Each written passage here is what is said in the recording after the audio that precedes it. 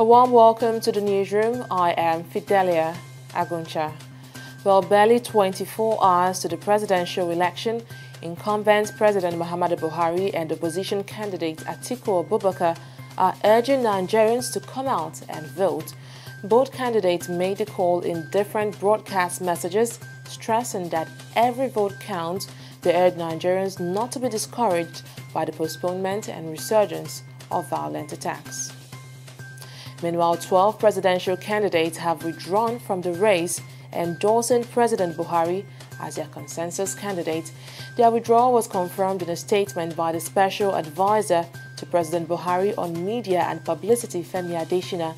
The former candidates have now urged their supporters to vote President Buhari on Saturday.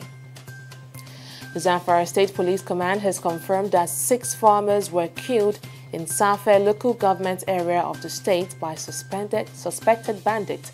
Spokesperson of the command, Mohammed Shehu, who disclosed this in a statement, however, said he couldn't confirm reports that 59 bandits were killed by troops of the Nigerian army in a counterattack. Well, two suspected human traffickers were on Friday apprehended for trafficking some Nigerians to Libya with the promise of taking them to Europe. The suspects were apprehended after they were identified by their victims during the profiling of 164 Nigerians who voluntarily returned from the North African country. They have now been handed over to officials of the National Agency for the Prohibition of Trafficking in Persons for further investigation. The National Bureau of Statistics has revealed that Nigeria generated 1.1 trillion naira as value-added tax revenue in the 2018 fiscal period. A breakdown of the 1.1 trillion naira VAT revenue showed that the government earned 269.79 billion naira in the first quarter, 266.73 billion naira in the second quarter, 273.5 billion naira in the third quarter, and 298.01 billion naira in the fourth quarter. Well, U.S. actor Jussie Smollett has been arraigned before a Chicago court on charges of, stage, of staging a fake hate crime against himself.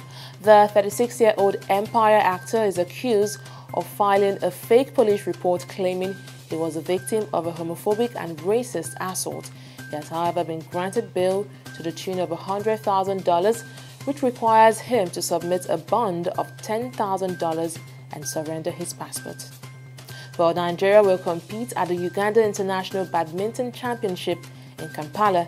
The country is represented by three players who are focusing on collecting points in the pursuit of an Olympic appearance in Tokyo, Japan next year. Well, that's the latest from our newsroom. Do log on to our website at TV360 Nigeria for more information. I am Fidelia Aguncha. Bye for now.